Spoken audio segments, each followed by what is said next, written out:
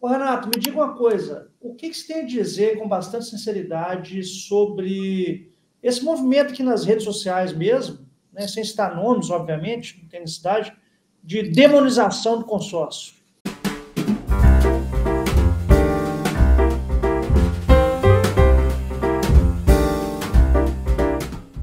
Então, que a gente tava falando... Por que, que você faz isso? É falta de entendimento ou muito boa pergunta, cara. Eu estava, semana retrasada, eu estava em São Paulo, e aí a gente fez uma, uma mesa redonda lá com presidentes de grandes instituições com mais de 20 anos de mercado. E aí foram bancos, grandes bancos, né? grandes instituições, casa de investimento. Consórcio é muito pouco conhecido no Brasil, tá, o, o, o Dani? O que se conhece é o produto consórcio, só a vírgula dele, só o que ele consegue, só o que os bancos fazem o banco só faz aquisição primária. Só que o banco ele vende o consórcio como produto de reciprocidade. Então, como é que o, o banco é vende? O que é, o que é aquisição primária? O que é isso? Você, você, é contemplado, compra teu imóvel, compra teu carro, tua moto. É isso. Só isso. Só faz esse movimento. Isso é o que o banco faz. Isso é o que o banco faz. E o banco faz como produto de reciprocidade. O que, que é isso? É assim, ó. Fala, Dani, tudo bom? Fulano aqui, teu gerente. Dani, porra, tá chegando no final do mês, cara. Eu preciso bater minha meta. Me ajuda aí a prover ali. Aumentei tua linha de crédito, aumentei teu cheque especial. É assim que é vendido o consórcio em banco. Então, o produto que tem 60 anos, né? A parte de, de veículo tem desde 1960. E que você compra para bater meta de um terceiro, cara, não pode funcionar. O que a gente vem fazendo durante muito tempo é fazendo uma disruptura de mercado, educando o povo dando informação e educação financeira, falando o consórcio é uma ferramenta de crédito muito interessante, desde que você faça com assessoria. E aí, eu vou falar no YouTube, tem muita gente falando bobagem, tem autoridade no ramo financeiro falando bobagem, eu não vou falar ah, nomes, eu não vou falar nomes, mas ano passado, uma baita autoridade do mercado financeiro, que é muito respeitada nacionalmente, tá? Falou uma bobagem de consórcio tremenda. A gente foi lá, editou o vídeo dela, replicou o vídeo dela e ela não falou com a gente até agora. Ou seja, não precisa conhecer tudo, mas fala do que conhece, não dá para opinar do que não conhece. Conhece da parte financeira, de investimento e tal, fica na tua área. Não dá pitaco na área de, que você não conhece, ou vem conhecer. A maioria, Dani, a maioria falta de informação, tá?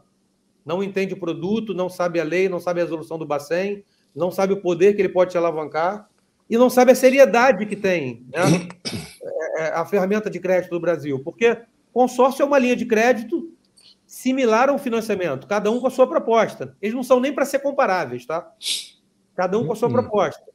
Como linha de crédito, é muito interessante na nossa, no nossa, na nossa família, na nossa, na nossa jornada de aquisição de veículo, de automóvel, de imóvel. É muito, desde que você entenda e seja bem assessorado. E aí eu falo até no mundo de moto para todo mundo que está nos vendo aqui entender. Se eu compro uma moto hoje e tenho infelicidade com ela, não quer dizer que toda moto é ruim. Né? Uhum. Tá Se eu compro alguma moto e me arrebento com ela, dá um monte de problema, me deixa na mão, ah, quer dizer que eu não compro mais moto por causa disso? Não, você não teve uma assessoria adequada para a aquisição da moto. A maioria das falações de YouTube e rede social é para engajar. A maioria é, é para engajar é para lacrar, né? Como... E o engajamento, assim, a meu ver, fraco, porque você está falando bobagem, né? É melhor. Assim, todo mundo que tem alguma coisa com consórcio, chama o especialista para dividir tela, chama o especialista para bater um papo com ele aberto. É mais sensato, sabe? É mais honesto com o público. É verdade. Agora, uma pergunta que eu tenho uma dúvida cruel é o seguinte: o consórcio ele serve para a pessoa que precisa do bem imediatamente? Vamos lá. O DNA do consórcio, o DNA do consórcio ideal é para a pessoa que não precisa do bem imediatamente. Uhum. A pessoa que precisa do bem imediatamente, ela vai buscar ou recurso próprio ou financiamento. financiamento. Ah, mas é caro. Mas é caro. O preço do financiamento é a pressa. É isso. Então, se você tem pressa e o financiamento ele se justifica muitas das vezes porque o cliente quer comprar moto, não abre mão disso e está tudo bem, não tem caminho certo ou errado. Tem um caminho que para você é confortável. Se você tomou o financiamento e está alegre com a moto, maravilha, não tem problema nenhum. É. A, a, parte boa é que você pode também ter um consórcio paralelo e quando contemplar, quitar o financiamento. Aí você paga menos Isso. juros ao ano.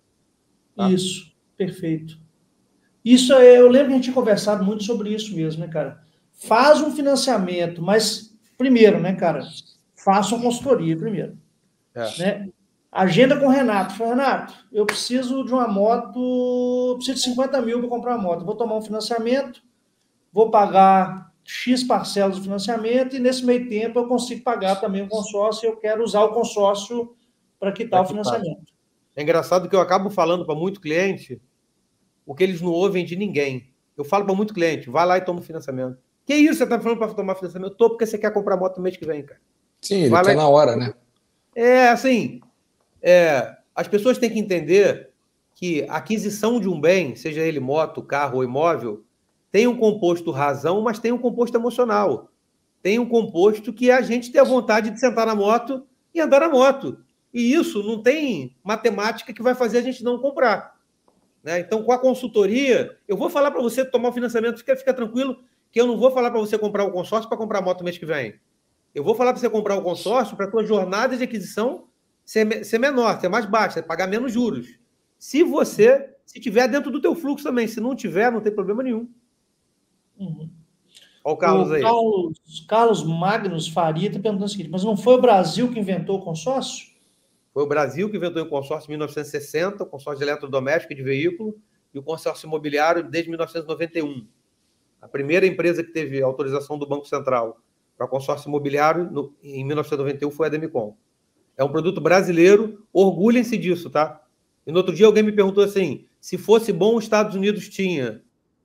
E aí eu falei para esse cliente assim: primeiro, que os Estados Unidos têm uma economia muito diferente da gente. Segundo, que eu estou operando nos Estados Unidos há um ano e meio.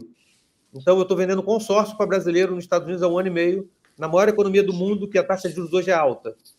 Então, o produto é brasileiro, é bom o produto e para de, para de achar que tudo que é americano é bom e tudo que é brasileiro é ruim. Tem muita coisa no Brasil boa, tem muita coisa nos Estados Unidos ruim. É, essa seara aí dos Estados Unidos, comparando, comparando com o Brasil, é um terreno que é bem difícil pisar. Mas realmente. É, é, é porque é difícil pisar. É bom. comprar, comprar eletrônico, comprar automóvel com juros baixos, é excelente. Agora, Exatamente. Tem coisa que não é. Tem um monte que de coisa que não é. Na história da economia dos Estados Unidos, a gente tem a maior economia do mundo com uma taxa de juros baixa. Então, para aquisição é ótimo. Sempre foi bom, continua sendo. Mas se a gente pegar a realidade deles, hoje a taxa de juros é alta, perto do que era, para eles. Para a gente, não, tá? Não dá para comparar a economia daqui com de lá. Mas se você perguntar o, americano hoje o que, que ele acha da taxa de juros atual para comprar imóvel, comprar veículo, ele acha alta. Bem uhum. alta. E na Europa também. É isso mesmo. Beleza, show de bola. Fala, americano de Araca. Você certamente já ouviu falar aqui no canal da V2 Motor Hub, né, cara? Que é um centro compartilhado de serviços para o motociclista. E agora ela está criando oportunidade para os motociclistas abrirem suas franquias deste espaço. Você que anda de moto, meu amigo, que está inserido no cenário bike da sua região, você pode se tornar um empreendedor. É, isso mesmo. Este já é um negócio de sucesso e agora vai servir como um ponto de encontro para motociclistas da sua região. Serviços integrados de mecânica, lavagem técnica, barbearia, restaurante e até espaço para shows será realmente o ponto de encontro para os motociclistas da sua região. Faz o seguinte, americano, entre em contato agora com essa galera para você entender como que você, motociclista, pode se tornar um empresário naquilo que você mais curte.